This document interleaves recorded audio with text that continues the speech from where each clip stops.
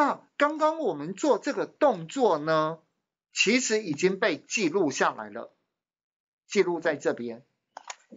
为什么呢？假设你今天你未来是不是会放一百一十一年一月的新的这个档案放到那个指定的资料夹的时候，放到这个资料夹，这个进口资料夹这里面，对不对？好，这个时候呢，你的电脑，你的 Power BI 这边什么事情都不用做，因为它会把套用的步骤会整个套一遍，这样可以了解吗？这就是它棒的地方。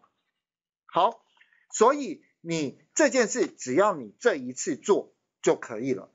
这一次的清资料清理，只要你现在这一次制作就可以了。好，那做完这件事情，它记录在这边。如果你想要反悔，你想要更正，很简单，就删掉它，删掉它，这样可以了解吗？删掉在这里。好，我实际还是做一次啊，删掉。那。这边要删掉，还要包含已将标题升阶，还要再删掉，是不是才等于说删掉两个动作？可以吗？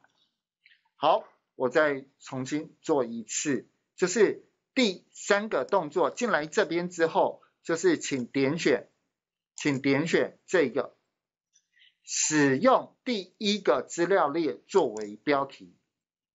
可以哦，这样就其实要做两件事，它会自动做两件事。它首先先把刚刚那一列删掉，有没有删掉？删掉之后呢，还要将标题升阶。好，请问进口要做，出口要不要做？你看出口，出口是不是一样？对不对？所以出口这边顺便做一下出口。使用第一个资料列作为标题。好，请问当我们